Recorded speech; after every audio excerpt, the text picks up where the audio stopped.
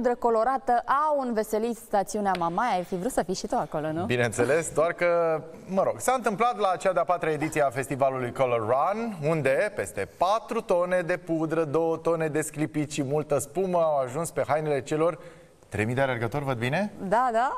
Care au intrat în competiție. Da, na, că ai lipsit. Poate anul viitor, nu? Cel mai colorat eveniment al anului s-a desfășurat pe un traseu special, undeva pe malul mării. Mm.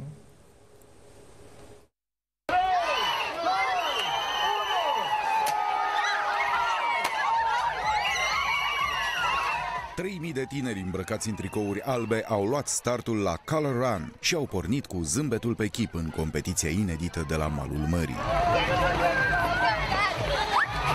Asta este Mamaia, foarte multă distracție, foarte multă culoare, explozie de culoare și de adrenalină. Timpii de alergare nu au contat deloc în cursa culorilor din Mamaia, care nu a fost cronometrată. Singura miză a fost distracția. Toți alergătorii, români și străini, au fost câștigători.